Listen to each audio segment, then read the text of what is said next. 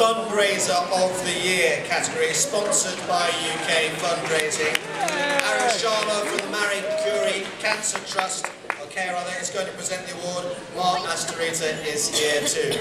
The, award, the recipient of this award is the kind of person that everybody in this room would like to have working for them.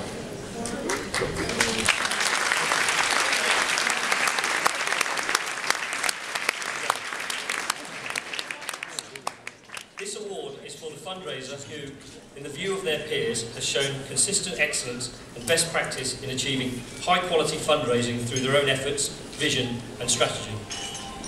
Nominees are Kirsty Ashton,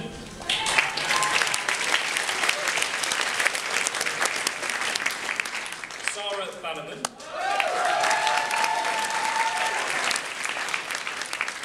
and Sally Eastcott.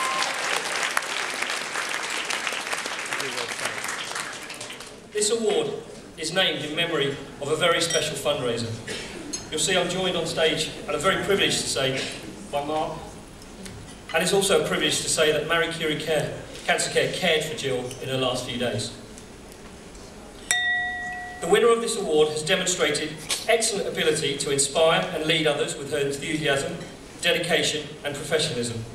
She has seen success in securing lasting partnership despite the size of her charity. Finally, our winner has grasped a number of different income streams, leading to an impressive growth in income for her charity from a multitude of sources. Ladies and gentlemen, the winner is Sally Eastcott.